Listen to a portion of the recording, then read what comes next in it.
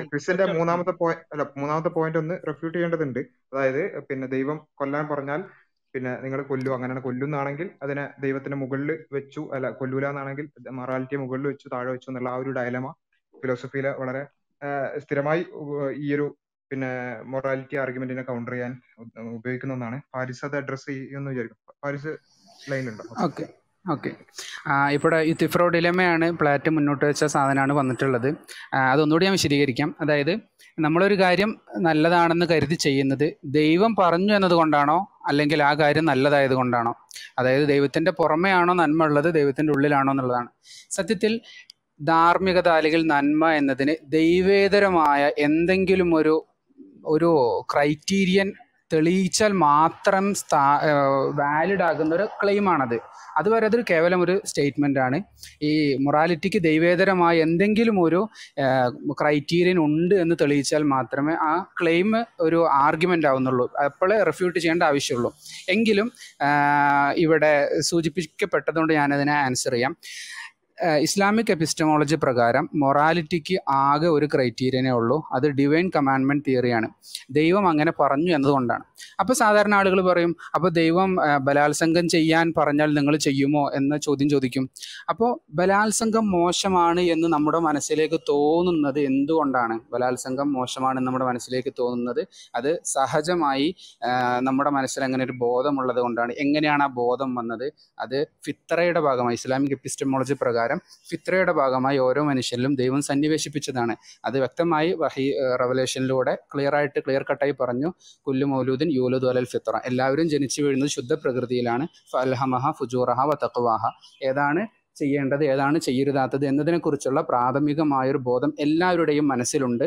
അങ്ങനെ നമ്മുടെ മനസ്സിൽ ഉള്ള ആ ആ ഒരു ധർമ്മബോധത്തെ അത് തന്നെയാണ് അതിനെ വ്യവസ്ഥാപിതമായി സമഗ്രമായി സമം ചേർത്ത് ഡിവൈൻ കമാൻഡ്മെന്റിലൂടെ റവല്യൂഷനിലൂടെ ബോധ്യപ്പെടുത്തി തരികയാണ്. ഇനി ദൈവത്തിന്റെ പുറത്ത് നിൽക്കുന്ന ഒന്നാണോ നന്മ? ഒരിക്കലും അല്ല. മറിച്ച് ഗോഡിന്റെ ഒരു ആട്രിബ്യൂട്ടാണ് അൽ ബർ എന്ന് പറയുന്നത്.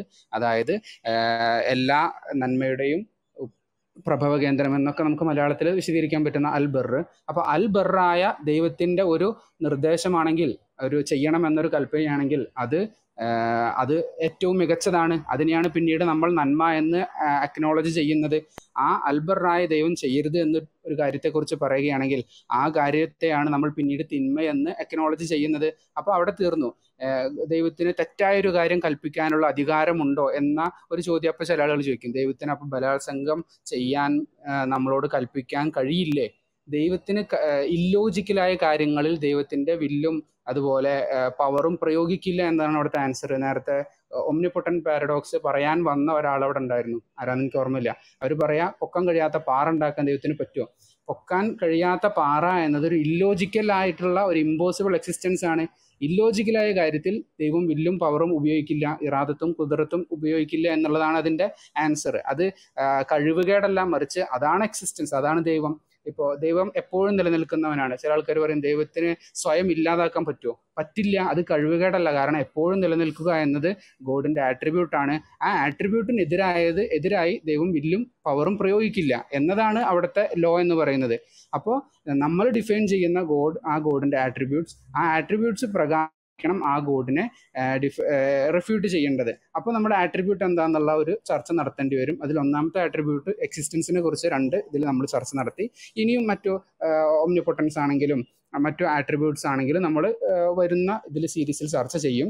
ഇവിടെ ഈ രണ്ടാമത് ഞാൻ മോഡറേഷൻ ഏറ്റെടുത്ത സമയത്ത് ചർച്ചയെ ഡയറക്റ്റ് ചെയ്തൊരു ഏരിയ എത്തിസ്റ്റുകളായിട്ടുള്ള ആളുകൾ ഇമ്മോറൽ ലൈഫിലേക്ക് പോകുന്നതിനെ കുറിച്ച് അല്ലെങ്കിൽ എത്തീസം ഇമ്മോറാലിറ്റിയെ സൈലന്റ് സപ്പോർട്ട് ചെയ്യുന്നതിനെക്കുറിച്ചായിരുന്നു.